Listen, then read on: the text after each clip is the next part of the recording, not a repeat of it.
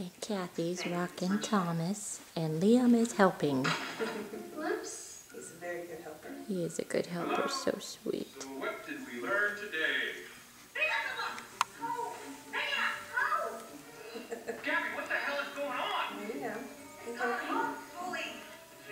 Liam! Liam! Okay. We'll get him later.